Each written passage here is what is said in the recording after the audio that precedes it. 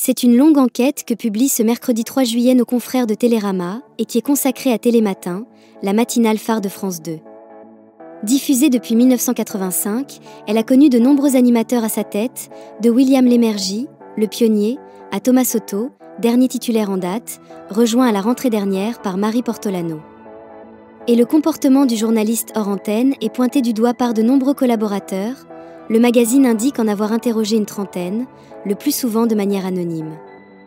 De nombreuses voix s'accordent à dénoncer une ambiance oppressante et des exigences démesurées de la part de Thomas Soto, qui, en plus d'être le coprésentateur de la matinale la plus regardée de France, en est le directeur éditorial.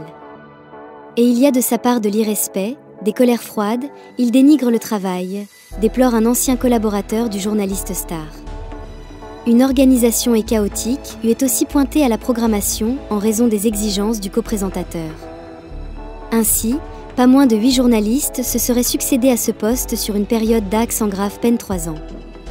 Un salarié de Télématin révèle même que les deux briefings de l'émission chaque jour à 9h35, menés par Thomas Soto et par la productrice Ophélie Raduro, sont un moment craint.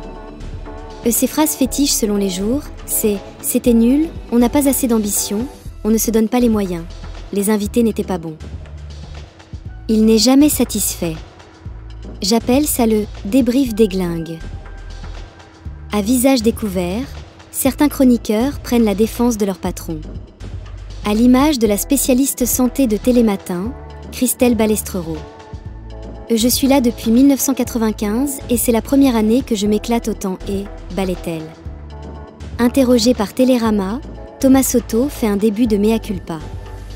Et est-ce que je mets de la pression sur les équipes? Oui, sans doute, parce que cela fait partie de mon boulot, rappelle-t-il, avant de juger que ses envies sont et peut-être eu, un peu trop sans limite. S'il reconnaît aussi avoir été très dur lors de son arrivée en 2021, le journaliste assure avoir y corrigé le tir depuis deux ans. Le quinquagénaire se dit au final blessé et par ce tombereau de critiques en provenance de ses équipes, lui qui assure que la porte de son bureau à France Télévisions est toujours ouverte pour qui voudrait venir lui parler et l'intéressé de conclure en direction du journaliste qu'il a interrogé dans le cadre de cette enquête, eut prenez de la distance avec la caricature.